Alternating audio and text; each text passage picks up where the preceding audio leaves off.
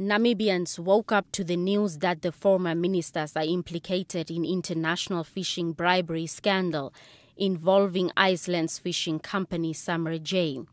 According to Fishrot Files published by WikiLeaks, Samherji paid bribes and kickbacks amounting to $150 million to Esau, Shanghala, and chairperson of the National Fishing Corporation, James Hatuikulipi, who worked as a consultant for Samherji.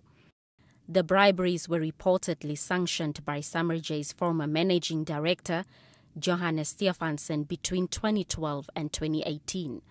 President Geingob summoned Esau and Shanghala to State House before their resignations. State House Press Secretary Alfredo Hengari would not divulge detailed information on the meeting but confirmed that President Geingob has accepted the resignations with the understanding of the severity of the allegations against the two ministers. Contacted for comment, Shanghala told NBC News that any announcement must be made by the presidency, while Esau's phone numbers went unanswered. The two are the latest to have exited Geingob's cabinet this year after former Education Minister Katrina Hanse-Himarwa, who was convicted of corruptly using her office as a governor to benefit relatives.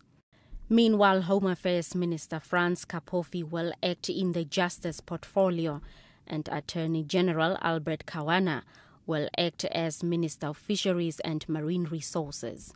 Many have labeled the scandal as a slap in the face for the Geingob administration, which time and again pledged to root out corruption.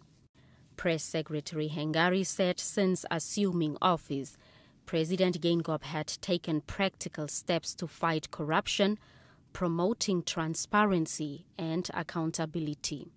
Blanche Correses, NBC News.